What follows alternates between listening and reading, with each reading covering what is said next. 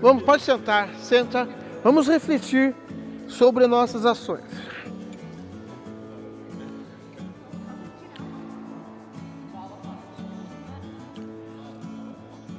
É, Fernanda, se eu pedir para você fazer agora, nesse momento, como faz é, o deslocamento da bola, deslocamento no jogo de handball. Como é feito e como é o nome. Que fundamento é? O deslocamento da bola, de você com a bola no jogo de handball. Como? Drible. É drible, certo? É. Certo? Certa resposta. Certa resposta. Muito bem. Como eu faço para. Como é o nome do fundamento que eu utilizo para ludibriar o adversário que está tentando impedir com que eu arremesse? Finta. Ou pode arremessar, impedir que arremesse, ou pode impedir que progrida, certo? Durante o jogo. Porque o adversário ele não estará só lá à frente à área, certo? Ele estará na quadra toda em deslocamento, certo? Ele tentará também impedir em todo o movimento, é em toda a extensão da quadra, o seu movimento, certo? Ok? Muito bem. É, como eu utilizo, qual é o nome do fundamento que eu utilizo para chegar até a zona, vamos dizer assim, até a área onde eu posso arremessar? Progressão. Isso? Progressão? E todos saberão fazer a progressão? Como é feita a progressão?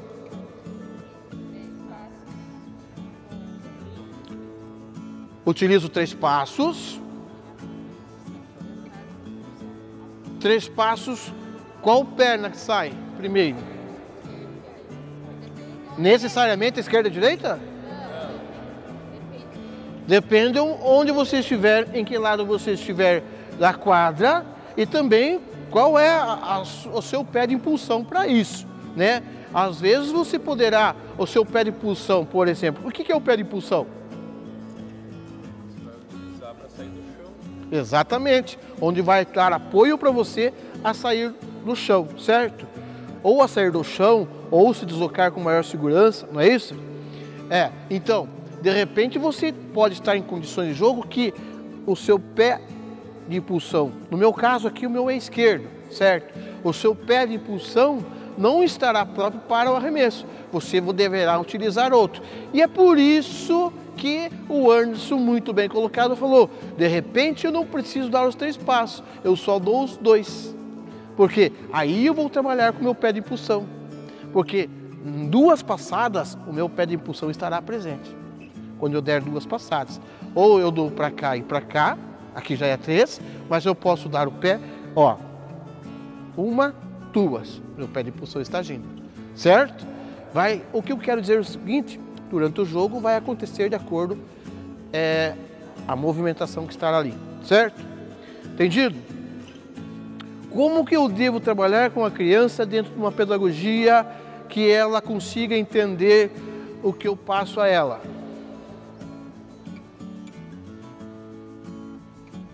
Qual é a metodologia que eu utilizo?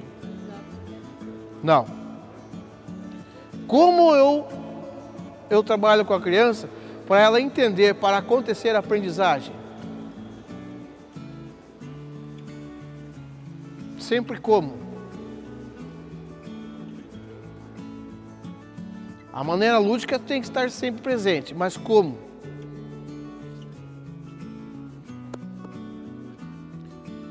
Tá, é uma maneira lúdica, mas qual é a metodologia que eu utilizo para que ela entenda, para quase sempre uma linguagem simples ela falou. Sempre do mais simples ao mais complexo né? Eu não posso já colocar uma coisa complexa para ela apresentar uma coisa complexa a possibilidade de ela entender será quase zero, é dela não entender será quase zero, certo? Agora, se eu ir passo a passo até chegar à complexidade, ela estará mais facilmente preparada para aprender. Certo? Ok? Capite? Outra coisa que é importante, nós estamos fazendo aqui uma, um feedback, né? É... Ah, como eu devo me portar quando for selecionar uma equipe para jogar ou duas equipes? Eu devo pegar aluno por aluno escolhendo batata, o saco de batata, você é bom, você não é bom, você é bom, você não é bom? Ou devo fazer de uma maneira democrática? Democrática e transparente, não é isso? Vamos dizer assim. Uma palavra que está muito embaixo ultimamente é a tal da transparência, né? Certo? Sim? Concorda comigo? Eu falo isso porque vocês são formadores de opiniões e é por aí que a gente começa, né? Ok? Então tá, o celular de alguém está tocando, né? ai, ai, mas tudo bem.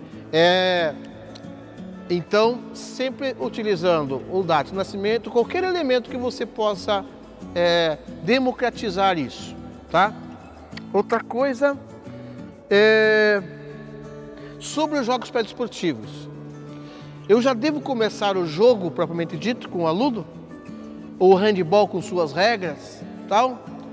Ou eu tenho que familiarizar esse aluno à modalidade esportiva e introduzir alguma coisa lúdica? É isso? Não é isso? Ah, eu tenho uma observação a fazer. Professor, esses esses elementos que nós trabalhamos, os fundamentos, tal, os exercícios, as atividades, é, eu faço, repito uma, duas, três vezes, como eu faço isso? Quem tem essa resposta para mim?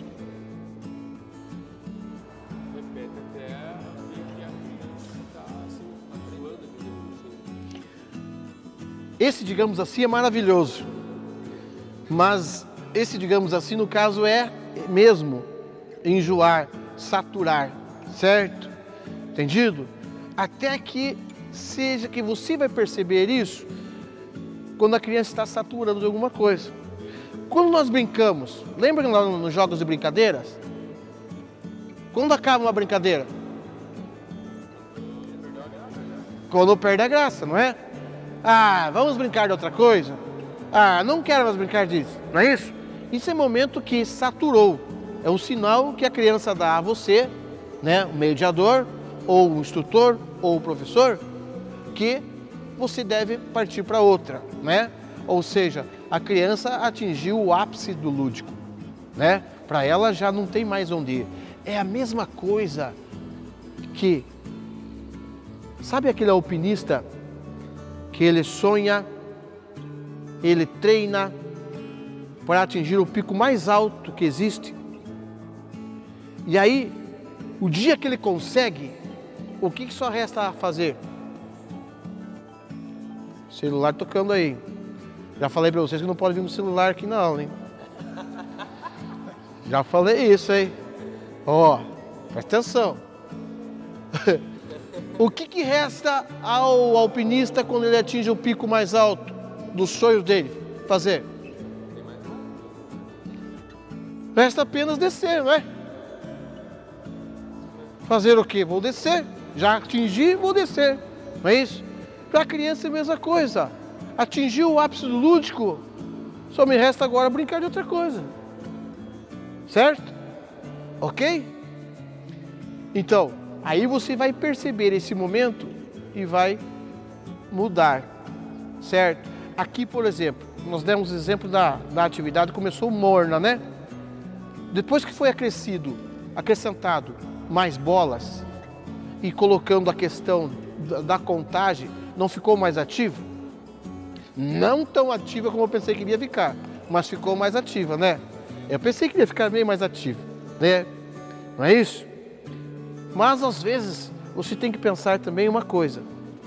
Nós trabalhamos com seres humanos, tá? E isso acontecerá na escola muito. Isso acontecerá na escola muito. as crianças também têm o um dia que amanhecem, como diz o outro, não estou de acordo, né? Você não amanhece um dia que não está de acordo? A criança também um dia vai, vai amanhecer indisposta, né? E você não pode ficar exigindo isso, porque é um ser humano, certo? O que você deve pensar e fazer é sempre fazer com que a criança, enquanto nós trabalhamos a modalidade esportiva coletiva, é que ela tenha gosto de aprender primeiramente, para depois fazer com que ela aprenda. E esse aprendizado jamais deve ser exigido a perfeição dos seus movimentos. Ok? Professor, regras. Regras você ensina, mas digamos que as regras suficientes para que aconteça o jogo, certo? O que nós chamamos de regras básicas. Ok? Eu agradeço a vocês pela presença, muito obrigado e até a próxima aula, se Deus quiser. Vamos com Deus. Valeu. Valeu.